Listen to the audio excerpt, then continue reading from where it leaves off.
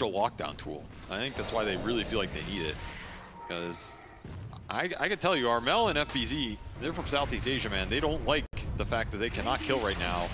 He's gonna force the issue. Almost able to get it, Oh, but it heals. He might die to the Mystic Flare. The Chen heal goes off. The Cogs push back. Is that going to be enough? The Invis, Armel, he's trying to stay alive. The Reflection is not quite killing him, and he will stay up. Even the Spirit putting a bit of damage on him. Somehow Yamich wants away with like 20 HP.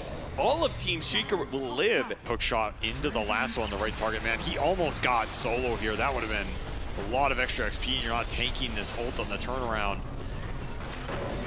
He barely dodged it. That is right on the edge of an Earth Splitter.